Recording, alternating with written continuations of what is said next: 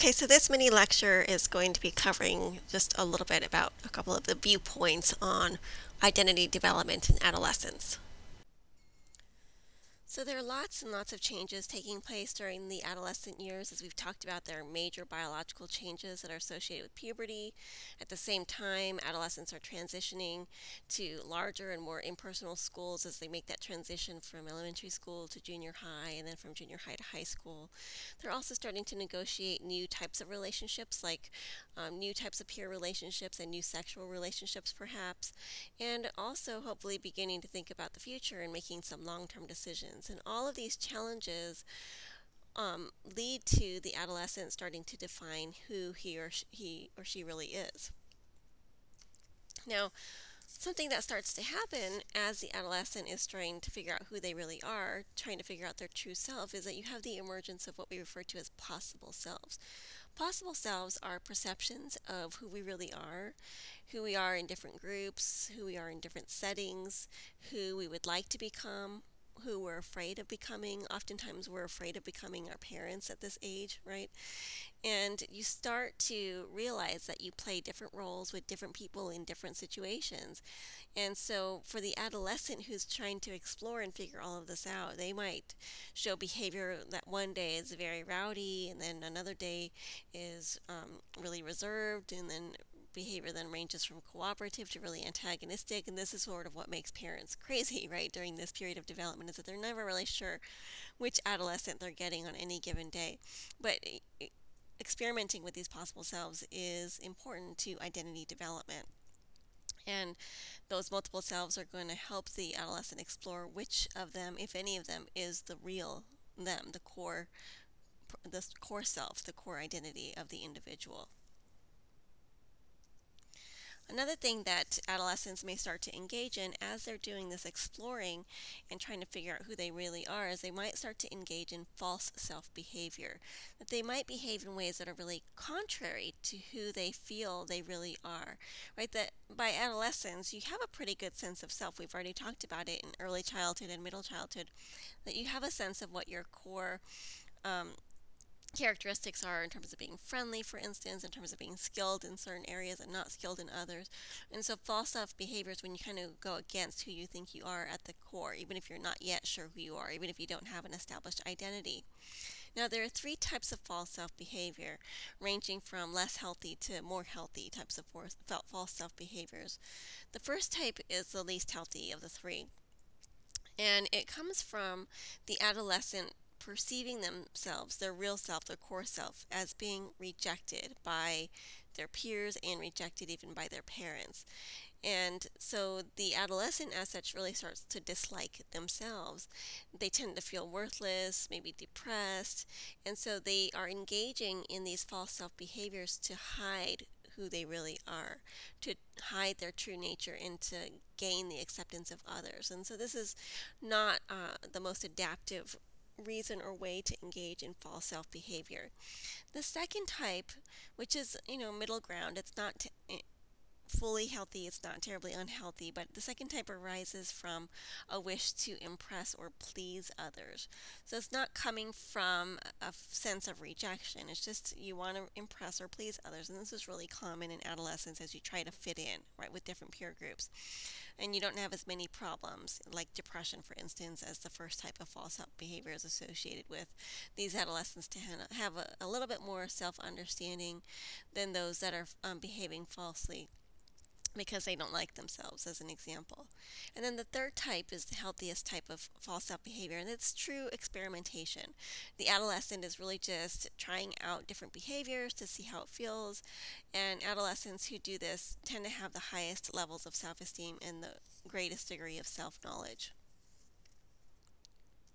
Now, of course, in Erikson's theory, the stage that you're in during adolescence is identity versus role confusion. So the challenge is to integrate different aspects of your self understanding into a coherent eh, identity. Um, and identity is your self definition as a separate individual in terms of things like your roles, your attitudes, your beliefs, your aspirations. And for Erikson, this is the most important task of adolescence, and it kind of sets the stage for what happens in later Erikson stages. Now, the thing about Erikson's theory is that all of these stages are black or white, right? That you either um, fall on the positive side or you fall on the negative side. It's kind of um, pretty rigid. And so, what other researchers have done in terms of identity development is come up with different um, ways of thinking about identity status. And so, the next slides will talk about uh, an example of this. Marcia comes up with four different identity statuses that are possible the ideal, the ultimate goal is identity achievement. And this is when the person knows who he or she is as a unique individual. And their self definition encompasses lots of information like your sexual, your moral, political, vocational identity. And the only way to get to identity achievement is by exploring. That you have to explore alternative identities and you also have to eventually commit to a clearly formulated um, set of self chosen values and goals. And so um, the, the way to get to this ideal goal, to get to identity achievement, is by exploring and eventually committing. The second type of identity status is moratorium. And if you think about what the word moratorium means, it means a delay or a holding pattern. And so individuals who are in moratorium have made no commitment. They are in the process of exploring, they're gathering information, they're trying out new activities, they're trying to figure out who they are. They're trying to find those values and goals that guide their life, but they have not yet made a commitment, right? So these are the individuals that maybe in college change their major five times um, while they're trying to figure out what they want to do. And so it, it's not terrible, um, in the sense that at least they're doing the exploring. They just have not yet been able to commit to a specific identity. The third type is identity foreclosure. And identity foreclosure is when the individual has made a commitment to a set of values and goals, but they've made the commitment without taking the time to explore the alternatives for themselves. So, what these individuals often do is they accept a ready made identity that some authority figure, usually a parent, has chosen for them, right? So, your parent says to you, You're going to be a lawyer right? And the individual just accepts that and goes to school and takes all the classes that they need to prepare themselves to get into law school and they go to law school and they become a lawyer, right? But they've never actually explored the alternatives for themselves. The last type is identity diffusion. These individuals have also not committed um, like the moratorium individuals, but they're different because they also are not exploring, right? So they just um, are not actively trying to commit to a set of values or goals. They maybe have never explored any alternatives, or perhaps at some point they did try to explore but found the task to be overwhelming or too threatening. Um, but they're just not they're not exploring and they're not committed to anything. This is sort of the you know the 35 year old man living in his parents' basement kind of thing. Um, the next slide will sort of break this down just in the way that I've been talking about it in a little bit more clear way.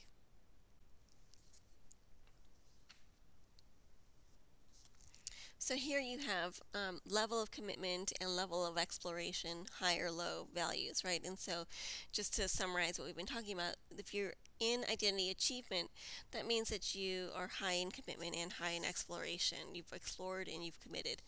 And if you're in moratorium, you're high in exploration, but you're low in commitment.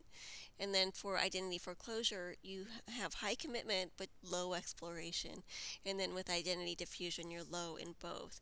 And you could almost imagine um, that individuals could bounce back and forth sometimes between these different identity statuses. So it's not as black and white as Erikson's theory would suggest, right? So you could at one point in life reach identity achievement where you have a set of values and goals that um, guide your, your life and your decision making but then something changes right? Maybe you have a major change in in life and you decide okay i need to go back to school right? Um, and i need to do some other kinds of things to continue exploring and, and make a decision at some point. So you might go back into moratorium and then go back into identity achievement or someone maybe who was in identity foreclosure realizes oh i've made a mistake by just accepting this particular identity and i need to do some exploring on my own. So it, it just offers a bit more flexibility than erikson's original theory did